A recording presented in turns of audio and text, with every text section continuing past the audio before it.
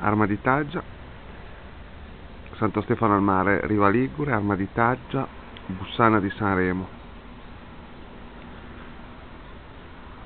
25 novembre